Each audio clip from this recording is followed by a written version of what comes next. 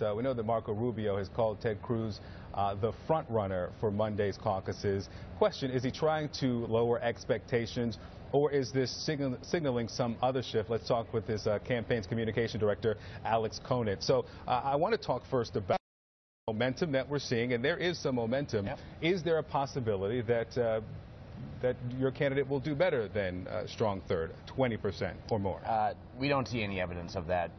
We're running against the greatest show on earth, which is Donald Trump, and the greatest ground game that I was ever seen in Ted, with Ted Cruz. Just a couple of weeks ago, Ted Cruz's campaign, they were at 40% in the polls and said that they hadn't peaked yet. Obviously, they feel very confident about Iowa. I expect Marco will come in third. I hope he comes in third. If he comes in, as Manu said, a strong third, I think that makes it clear that this is really a three-person race headed into New Hampshire, which is good for our campaign. Let's watch uh, one of the uh, newer Ted Cruz ads uh, casting Senator Rubio as the Republican Obama. Let's watch that.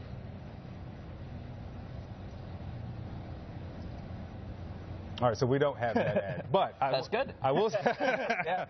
but but what about that criticism? That criticism that uh, this is another young senator who uh, a great orator, who has uh, hopes and dreams uh, Yeah. campaign, but is not prepared to lead as many Republicans believe. Well, Obama it's a little ironic that a first-term senator is attacking another first-term senator for being a first-term senator, but you know that's typical for Ted Cruz, who's really willing to say or do anything to try to get a get ahead in this race. Look, Barack Obama wasn't a bad president because he served in the Senate. He was a bad president because he had really bad ideas.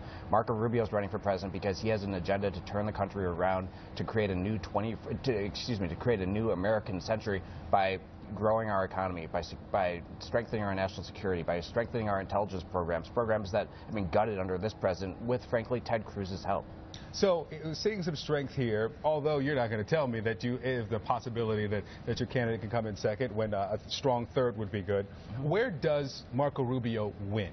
Where does he win? Where does he win?